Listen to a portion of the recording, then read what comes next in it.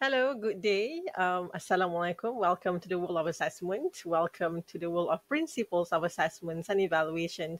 And it's been a while. And in this uh, video, we are going to look at specifically testing as we are still in testing process. And we're going to have a look at specifically item constructions.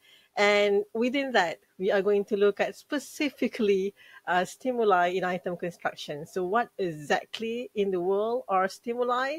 Well, stay tuned to find out and also learn about how uh, significant stimuli are in item construction process, as well as how can we use effective stimuli to construct effective items for effective tests. Now, um, the slides which I am using for this video is downloadable from my MOOC page. I'm going to leave uh, the link uh, to my MOOC page below this video. And if you're not my students, um, feel free to drop by. It contains a lot of practical advice, um, videos, notes, uh, what else? Uh, PowerPoint slides, as well as activity sheets for topics that are covered in this semester. Right, so without further ado, let's look at this slide. Now, basically, stimuli um, is the plural form and the singular form of stimuli is stimulus. We are not talking about rangsangan, so stimulus in Bahasa Melayu is rangsangan. Uh, we are not delving this from the perspective of psychological or uh, behavioral theory um, but we're going to look at it from the perspective of item constructions. So, what exactly is stimulus? Uh, stimulus is any material, authentic materials that you take uh, from other sources. For example, newspapers, posters, magazines, websites, videos, and uh, integrate this material into your test as part of your item. Okay, and stimuli are a must in any items uh, or for any test in any subject matter discipline because we do need to have authentic materials in our test and also we need vehicle in order for us to get to test skills that are intended to be assessed in our test. So if this is confusing, don't worry. We are going to look at uh, these stimuli in more specific uh, and then it's going to make more sense. Okay, I promise. So this is an example of a stimulus. Uh, this is a map, and as the source is from Google Image, which is integrated into a listening test and becomes an integral part of this test. Okay, and within the realm of testing process, um, so this is the process of testing. We are basically here uh, so stimulus or the use of stimuli is pertinent within item construction process. Uh, and in fact, uh, stimulus selections as well as item construction process are often carried out simultaneously at the same time because you will be selecting your stimuli based on the learning outcomes as well as based on the items that you are constructing. Hence, they always come together. Okay, uh, so basically, uh, there's a lot of things that teachers can use as stimuli for the test. Uh, and these are five different types of uh, stimuli, but the most common are the first two, which are text and graphics.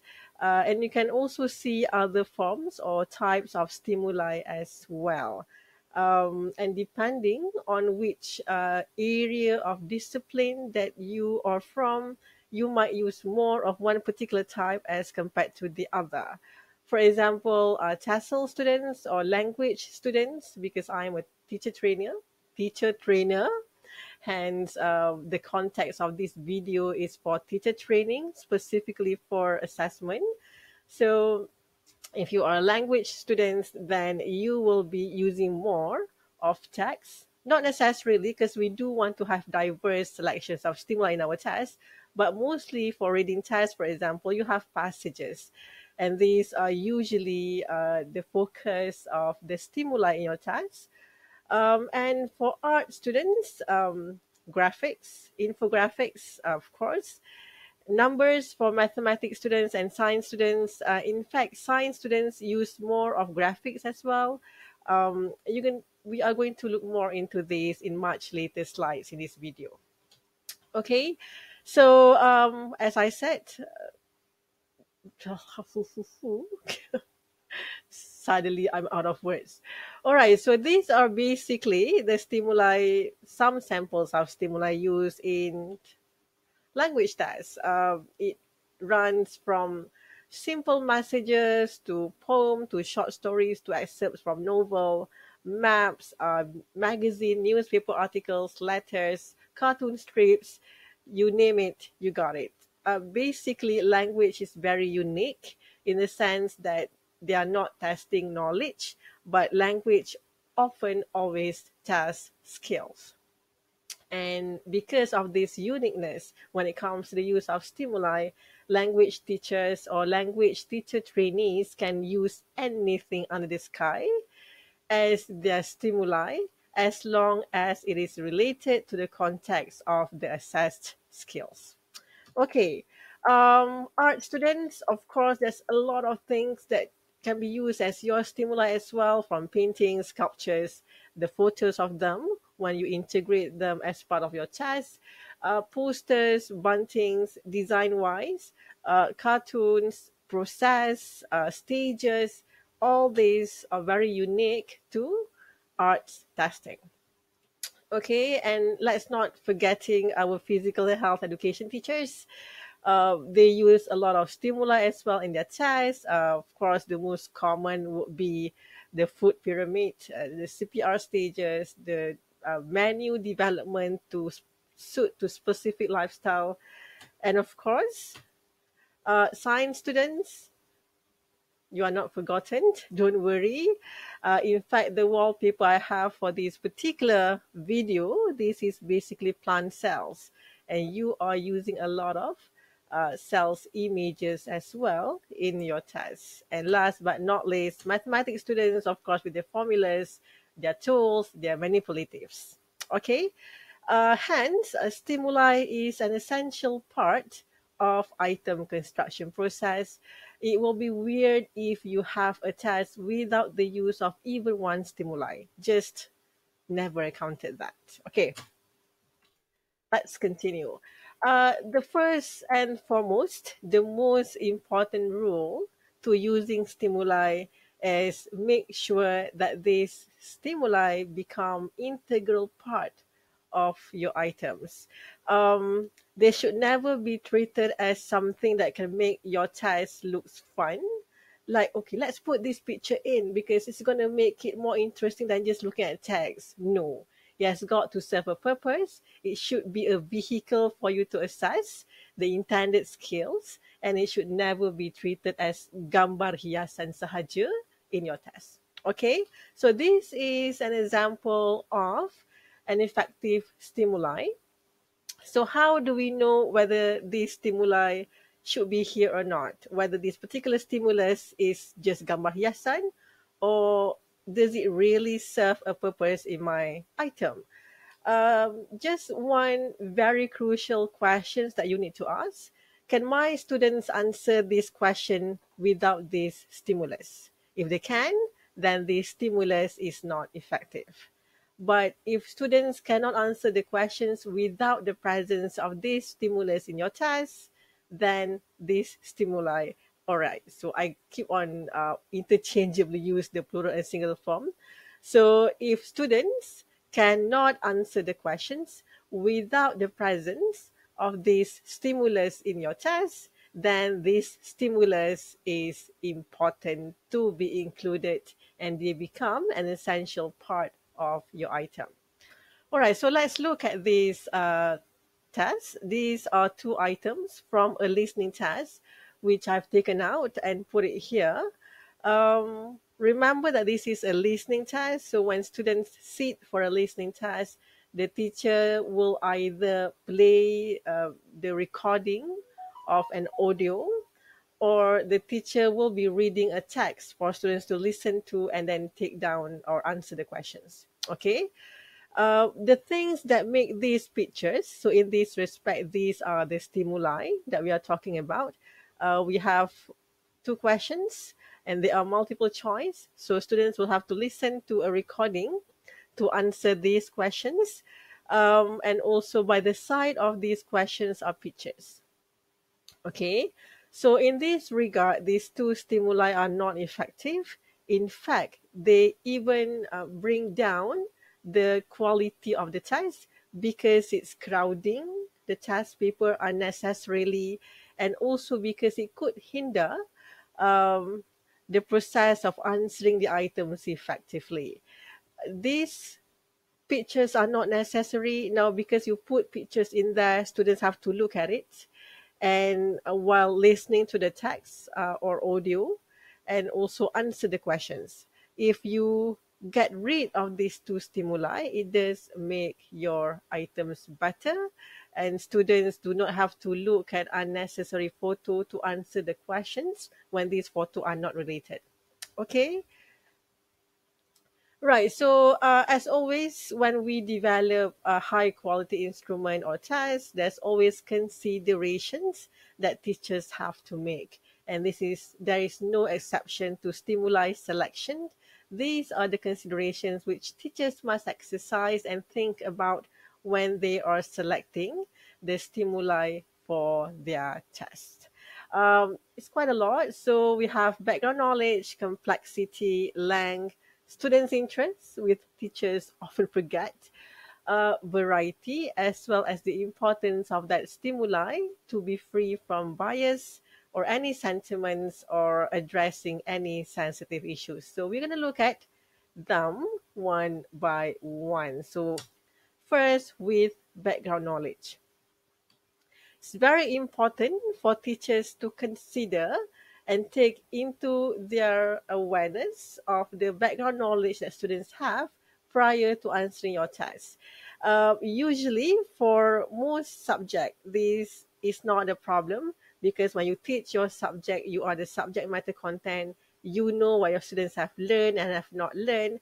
So when you put a particular uh, stimulus in your test, you know that students have the schemata or background knowledge to support them to answer the questions correctly or incorrectly. However, uh, this is a different case for language teachers.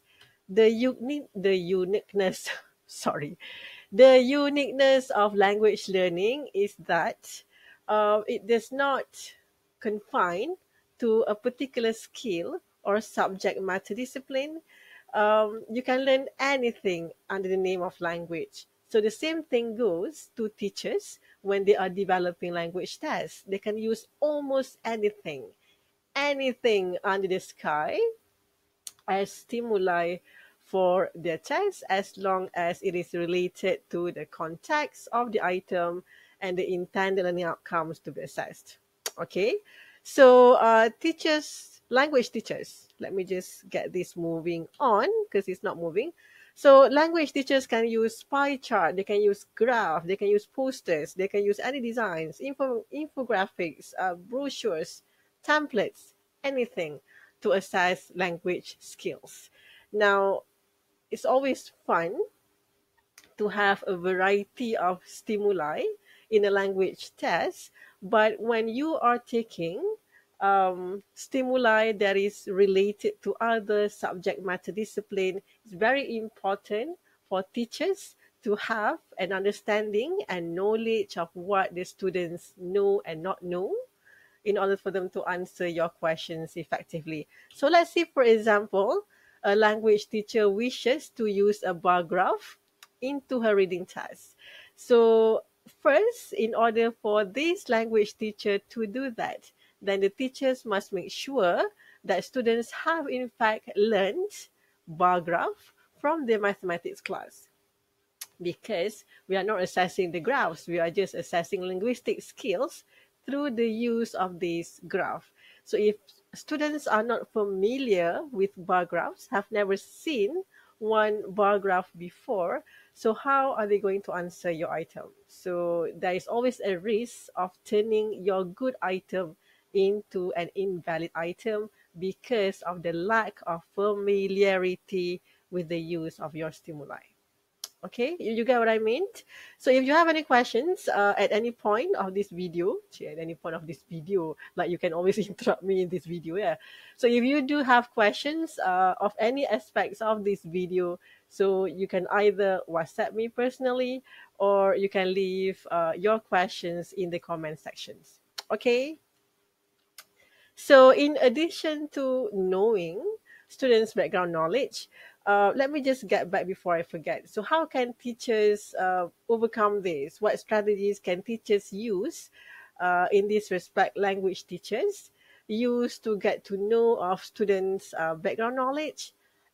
Always have a talk with other teachers teaching other subjects. For example, if you want to include um, a data set in your test, maybe talk to their science teachers and talk to their mathematics teachers to just to get an idea whether have they covered this topic in their tests, in their lessons or not.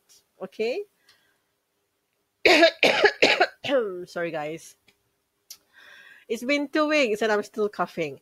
Right, so in addition to looking at students' background knowledge, it's important to consider, very, very important, the complexity level of the stimuli that you use in your test. Okay, uh, particularly when multiple, multiple, sorry, particularly if multiple stimuli are used. And it is not uncommon. In fact, it's very common for a test to have a lot of stimuli. So it's always multiple in nature. All right. And when you are using several stimuli in your test, then you have to think of varying levels of complexity collectively of all these stimuli. All right, so if your test only uses one single text, okay, it's very important for you to find a text which you feel that all the students in your class will be able to understand, um, regardless of their ability levels. Because we are going to use this text for the students to employ the intended linguistic skills. Therefore, understanding of the text is very important. Hence, it is very, very important for teachers to be able to match the use of the stimuli to students' level of abilities. Okay, that being said, what if you use multiple texts? And of course, this is a common context within any tags within any discipline. However, when multiple tags are used, uh, when you are using more than one text or more than one stimulus in your test, in the case of uh, reading tests, for example, it's common for teachers to use uh, sometimes up to four or five passages in a single test. So when you are using more than one passage, for example, you have to think of varying the levels of complexity of these passages. And we don't want to end up with um, a test that has five passages, but all of these passages are exactly at the same level of complexity. Now that's not effective.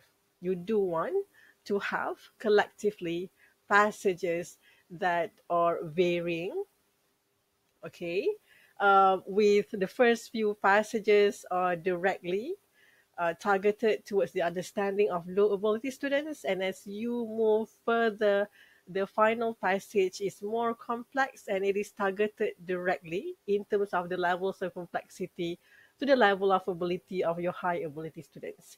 So this is a very important considerations. So you need to find um, a collection of stimuli that has varying degree of complexity. Okay, so uh, you can read this on your own later. I'm not going to delve this further. Um, this is not just uh, for language, definitely for mathematics, for example. You also need to think of complexity. Any subject discipline have to think of complexity of your stimuli when you are using a lot of stimuli in your test. All right, so we have looked at background knowledge. We have also looked at where's my hand. Okay, we have looked at background knowledge. We have also looked at complexity. Now, the third thing which teachers need to consider is the length of their stimuli. Still very important. So when multiple stimuli are used, then the considerations uh, towards length becomes more important. So teachers, language teachers with their passages, art teachers with the use of graphic images, uh, process and procedures for science teachers. Um, then we have physical and health education teachers with their um, health, fitness, and lifestyle related materials. And of course, maths teachers with their tools, formulas, and manipulatives. So chances are when you construct your test, you will be using a lot, uh, a lot. You will be using lots and lots of stimuli in your test. Hence, we do want to make sure that the use of these stimuli uh, does in fact enhance um, effectiveness and do not drag students' answering time unnecessarily. So I'm going to go back to my first page. Now, teachers have love towards a lot of things and, and they have interests and preferences and sometimes they do want to demonstrate or showcase uh, their love uh, for photography, for example, as part of their item in the form of stimuli. But having said that, um, testing is constricted in terms of time. When students answer your test, they only have like one hour or one hour 30 minutes to do that. So you can't afford to ask anything. Uh, you have to be very careful with the items that you have constructed in terms of the content that your items represent. You also have to be very, very careful with your stimuli uh, so that this stimuli does not interfere with your test effectiveness. Now, in my experience, when I go through uh, work which students submitted, um, they do tend to put a lot of stimuli, which is not harmful. But when there's too many, it starts to get in the way of um, item effectiveness. So we don't want that for language training teachers, for example, when do develop when they develop reading tasks, uh, I do receive submission, for example, for one hour test up to 10 different passages. That's just too much. Now, remember, this is a very, very important key point. Okay. If you have like 10 passages, and then these passages are long, and students will be spending a lot of time reading these passages, and this is longer than the actual time that they take to answer your questions. Now, that just defeats the purpose. So, we do want to have multiple stimuli, but not too many. We also need to consider the fact that when multiple stimuli are used, the length is different from one stimuli to another. So, length is, my dear students, a very important consideration. Let me just check whether do I have an example or a sample for this. I do. Okay, so this is basically um, a sample of few items. Uh, we just want to talk about the length, okay, and also density, uh, the number of stimuli that you should have in your test as well. This is an example of a reading test. Now, this is a common format for asking reading tests. If you were to flip through uh, activity book or samples of reading tests, you will be able to see the same pattern where one stimulus is presented followed by one item and another stimulus is presented followed by another item. Sometimes students are given quite a long passage for them to read and then followed by one question. Is there anything wrong with this? Not necessarily. But can we improve this? Yes, we can. Uh, from the perspective of stimuli used, okay, uh, do in fact mobilize on a number of items for one stimulus. Don't end up asking one question only for one stimulus. Um, give them credit for the time that they have spent reading through your stimulus. At least have three items. Don't just have one. In fact, from a stimulus point of view, it is always better to have one stimulus followed by a number of items which students can employ various linguistic skills in order to get understanding of the text rather than having three texts and then one item for each text. They'll be spending a lot of time reading the text and then they're only being tested with one item. So that's not effective. So it's always good to present one text, for example, followed by several questions. And these questions are basically a combination of both lots and hots. Okay. I'm just going to go back to my earlier points. Right. And also do not have the perceptions or conceptions that the more number of stimuli means that my task is better. Not necessarily. Uh, if you can reduce the number of your stimuli to much lesser number, but mobilize on more items instead, that's even better. Okay, so the key is having less stimuli but more items, not more stimuli and more item Okay, so when you do have in fact a number of passages, say for example you are using passages, make sure that these passages are different in terms of their length. And uh, you always have to strategize in a manner that for example your shortest stimulus will have the most um, what do you say uh, appropriate language for your low ability students and when you move to the longest passage for your stimulus this passage in fact contains complexity God, that is appropriate to your high ability students. And when you do have an array of passages of different length, when you present these passages into your test pages, then the shortest passage should appear in the earlier sections and accordingly the longest passage should be in the final section of your test. Okay, if you achieve this, then your test in terms of the use of stimuli is awesome. Okay, students, students, school sekalian, moving on uh, to interest. Now, of all the other considerations which I have mentioned, we've looked at background knowledge. I am going to look at where can I find my thumb. Okay, we've looked at background knowledge. We've looked at um, complexity. We've looked at length. But interest is usually a factor or an aspect that is often over, um, overlooked.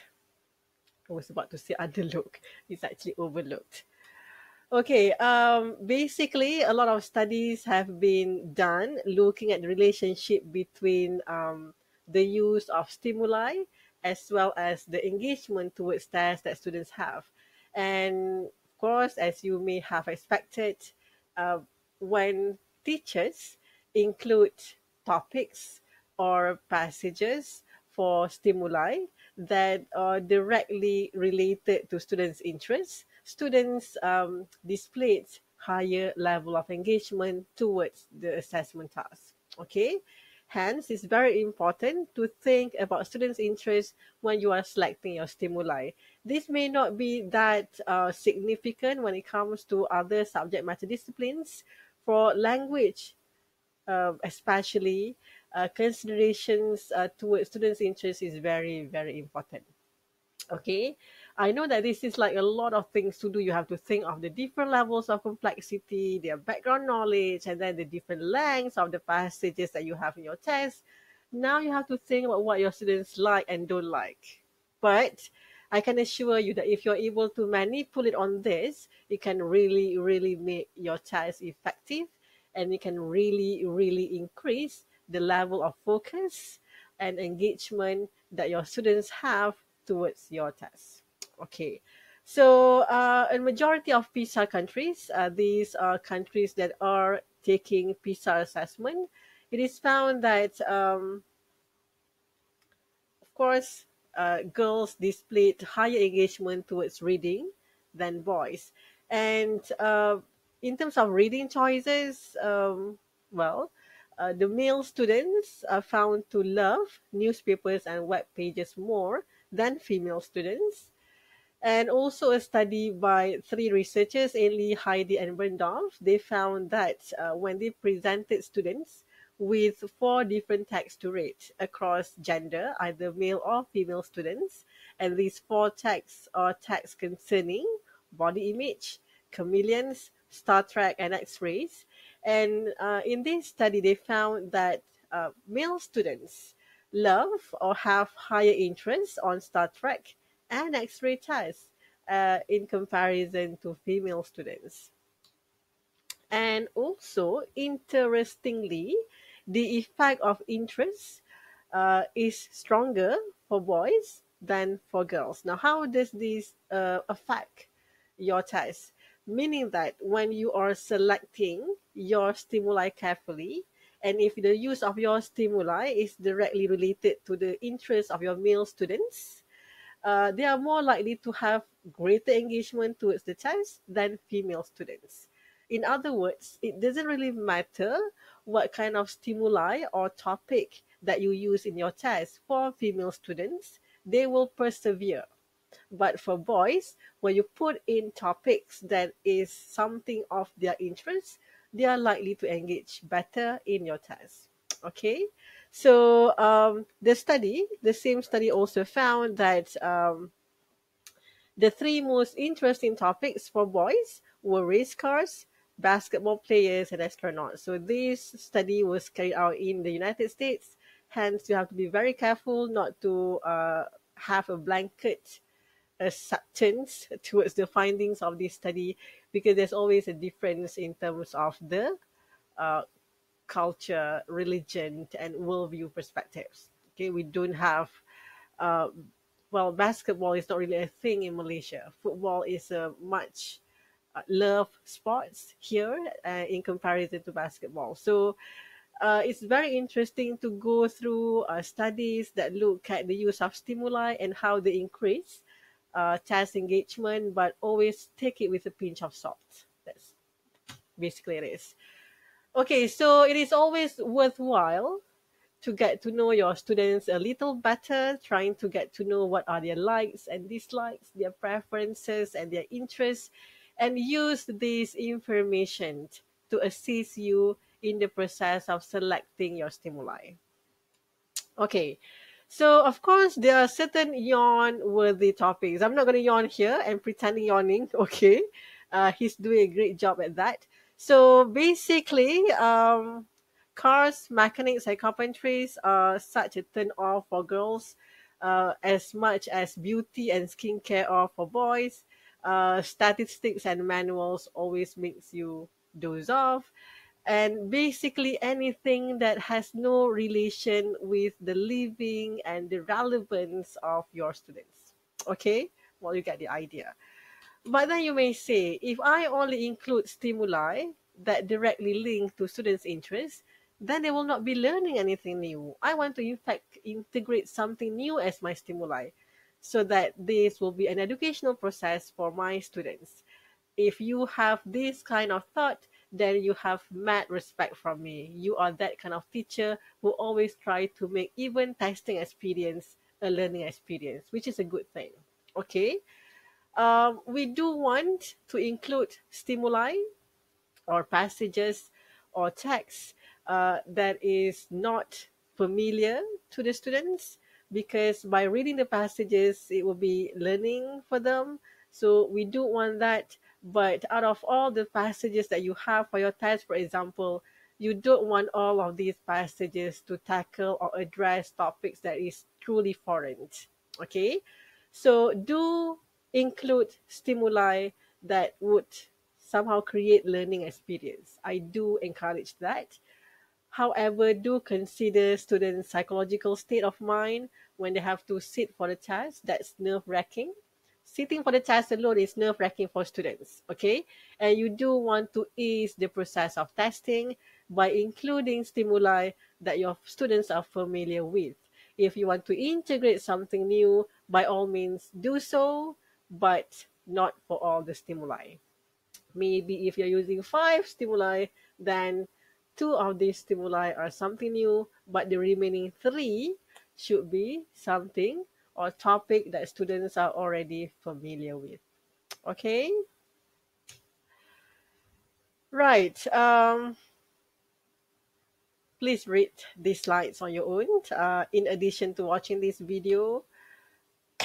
the next point is diversity or variety. So you also need to think uh, that your task, if multiple stimuli are used, so these stimuli should represent various themes, schemes, and topics, and not just talk about the same thing again and again. Okay. Uh, remember your students' motivations and psychological state of mind. If they have to go through five different passages, for example, for your reading test, and all of these five passages talk about recycling, come on, guys you don't want to like tire them out. You do want to have a good representations of many topics, various topics in your stimuli. Uh, and if you do have, for example, talk about recycling, then have a different passage, maybe um, fairy tale, for example, or maybe a poster. So variety comes in two ways. Uh, for reading, for example, you do want to have passages uh, which address on various aspects of things in life and not just focus on one particular aspect. It is also variety in terms of the types, format, and genre of your stimuli. So if you do have, if you want to work on five passages for one text, for example, then don't all don't let all of them be text. You do want to include posters. You can use pamphlets, letters, messages. So um, work on and press on different types of stimuli that you have because if you are able to do this, you are able to build on students' interest and then increase the engagement that they have towards the test. Okay, so I just want to mention um, in passing that we have gone through several different considerations that you must exercise when you are constructing your items in light of stimulus selection. Okay, we've looked at background knowledge, complexity, um, length, uh, variety. So all of these is very, very important for effective item and effective test. So it's not just your item have to be effective, your stimuli also have to be effective to make an overall effective test. So these are several additional guidelines uh, and this is also a recurring theme uh, in the submissions of your work to me, which I find this semester. Uh, so number one, uh, please make sure that if passages are used, you credit the author accordingly and sufficiently. So if uh, you have passage or text in your test, posters, or any form of stimuli for that matter, please credit the source. Please mention where did you take this particular stimulus from. Okay, it's very, very important. So what information to be included, I've listed down here. Please have a look at this particular PowerPoint slide. And if you are doing listening tests, for example, so listening test is very unique and different because you do have to pro provide additional file uh, or the audio file or a separate document. Uh, you have to think in advance, how would I go about carrying out these listening test? Uh, will I be playing my audio tape and then students listen and then answer the questions on the test script? Or will I be getting a text and I will be reading out loud the text in front of the class when they are taking the test? So you do have these two important considerations. All right. So if you want to use audio uh, tape for your test, if you want to play this particular tape uh, or file, people don't use tape anymore. Sorry, me being a relic.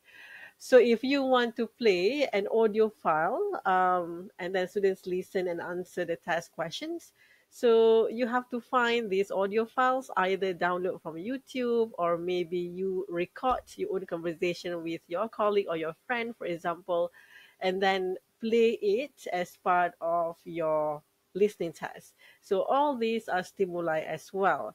Hence, it's very important to um, make sure that the audio clips or the video clips that you are using for this test is clear and of fine quality. Okay, clear in the sense that you can students can actually listen to the words that that these uh, audio tapes are playing or audio files are playing. Okay, and make sure that it still complies with the remaining of the considerations uh, of stimuli uh, stimulus selections complexity of the language, the length, um, variety. For my art students, uh, PJK students, math students, and science students, you will be using a lot of stimuli as well. So make sure that they comply to these particular guidelines uh, directly related to the context of the item. Uh, and it does in fact enhance item effectiveness and also they are clear, especially arts, when you have to present a painting for students to comment on, for example. So the print quality must be clear. Uh, that's basically what stimuli selection is a video. So the key takeaways is that we have to look at different types of stimuli.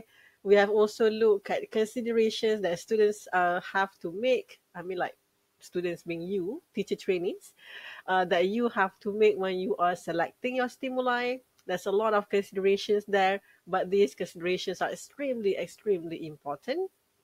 And also the rules and guidelines for using effective stimuli with the main goal of developing high quality tests. So thank you so much for your time.